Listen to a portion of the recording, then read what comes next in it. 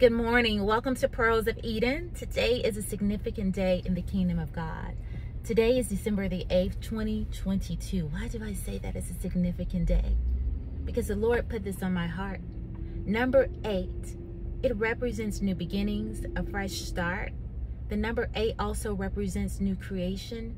When Noah built the ark, only eight people were able to join him. Eight total that entered into the new land.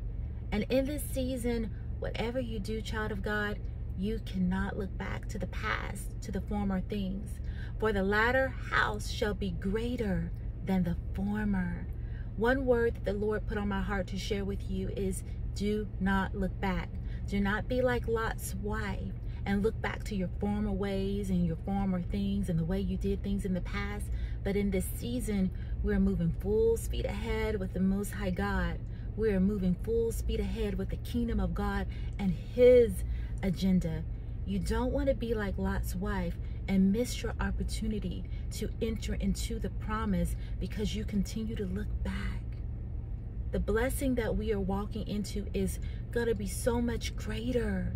Number eight, new levels, new beginnings, new season, new start, a new creation in Christ.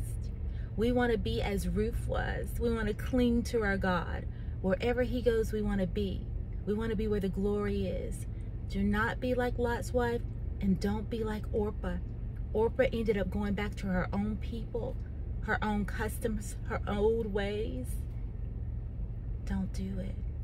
Move full speed ahead. ahead. Decide today, I'm not looking back, but I'm moving ahead with the kingdom of God. Army of the living God, arise.